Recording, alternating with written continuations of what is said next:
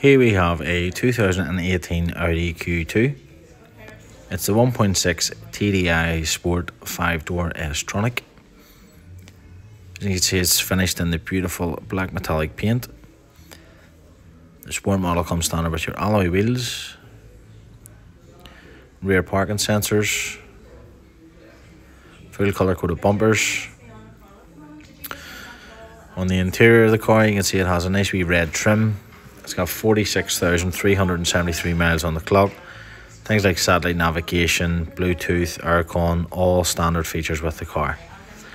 The vehicle is located at Mervyn Stewart Skoda North Down, which is situated between the Bangor and Newtownards carriageway at Conlig.